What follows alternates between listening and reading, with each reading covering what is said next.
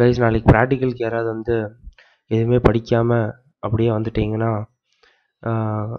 Just ஒரு two மினிட்ஸில் முடிக்கிற மாதிரி வழி இருக்குது என்னென்னா நான் வந்து பண்ணிவிட்டு சேவ் பண்ணி இந்த டேட்டா பேஸ் ஃபைல் இங்கே இருக்குது நான் வந்து கூகுள் ட்ரைவில் வந்து அப்லோட் பண்ணிட்டேன். ஸோ அதோட லிங்க் வந்து நான் டிஸ்கிரிப்ஷனில் கீழே போடுறேன். ஸோ மற்ற எக்ஸ்பெரிமெண்ட்ஸும் நான் கம்ப்ளீட் பண்ணேன்னா அதோட link database file save பண்ணி ட்ரைவில் ஏற்றிடுறேன் ஸோ சப்போஸ் அதாவது நீங்கள் வந்து ரொம்ப சோம்பேறித்தனமாக இருந்து டப்புன்னு பிரிண்ட் எடுக்கிறனாலும் எடுத்துடலாம். இல்லை சப்போஸ் இது மட்டும் ஓப்பன் பண்ணிங்கன்னா எந்தெந்த ஸ்டெப்ஸு ப்ரொசீஜர் எழுத எனக்கு கொஞ்சம் பார்க்க வேணும்னா நீங்கள் இப்படி கூட பண்ணிக்கலாம். பிரச்சனை இல்லை. வேணா யூஸ் பண்ணிக்கோங்க. இல்லைனா ஒன்றும் பிரச்சனை இல்லை.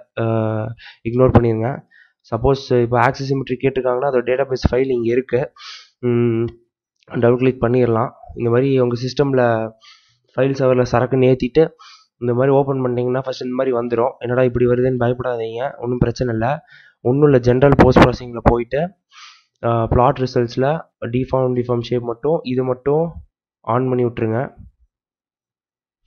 அதுக்கப்புறம் கான்டூர் ப்ளாட்டில் எலமெண்ட் சொல்யூஷனில் ஸ்ட்ரெஸ்ஸில் வான் மைசஸ் ஸ்ட்ரெஸ்ஸில் கொடுத்துருங்க.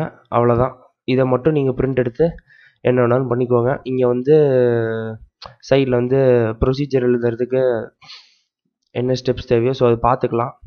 ஸோ இது ஒரு மெத்தடு இல்லை எனக்கு இதோட ஷார்ட்டாக ஏதாவது மெத்தட் வேணுன்னா டப்புன்னு சார் கொடுத்த பிரிண்ட் அவுட்டை அப்படியே ஒரு பென் ட்ரைவில் எடுத்துகிட்டு போயிட்டு அப்படியே பிரிண்ட் அவுட் எடுத்து கொடுத்துருங்க. ப்ரொசீஜர் ஏதோ ஒன்று கிறுக்கி விட்டு போயிருங்க. இல்லை எனக்கு இது கொஞ்சம் பார்த்துலதுன்னா இது யூஸ் பண்ணிக்கோங்க. ஒரு ஒரு நிமிஷத்தில் வேலை முடிஞ்சிடும் ஸோ அவ்வளோதான் கை ஸோ இதோட எக்ஸ்பீரியன்ஸோட டேட்டா பேஸ் ஃபைல் நான் வந்து டிஸ்கிரிப்ஷனில் போட்டுடுறேன் எல்லாமே போட முடியுமான்னு தெரில ஸோ முடிஞ்ச அளவுக்கு போடுறேன். So that's it guys thank you